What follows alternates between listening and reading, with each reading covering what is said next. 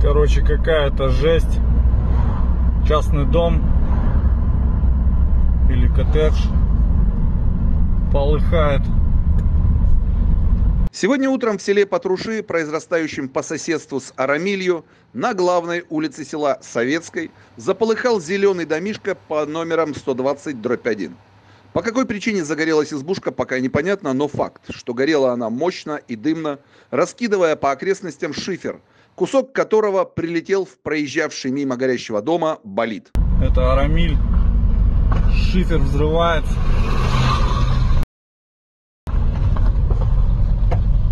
А, в машину прилетело. Огнеборцы на утушку сельского дома, окруженного горючими постройками и соседскими избами, примчались по повышенному первому бис-номеру.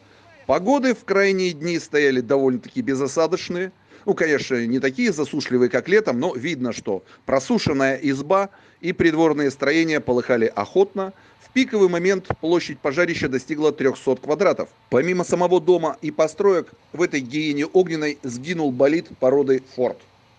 Сообщается, что в сгоревшей дотла избушке никого из разумных в момент пожара не было. Хотя это дом вообще-то на две семьи. Очевидцы докладывают, что хозяева, примчавшиеся на воспаление, сразу начали кидать друг другу претензии и выяснять, на чьей половине возник очаг. И их можно понять. Жаркие денечки подходят к концу, впереди осень и зима. И лишиться в такой промозгло-хладный период крыши над головой – это реально страшно.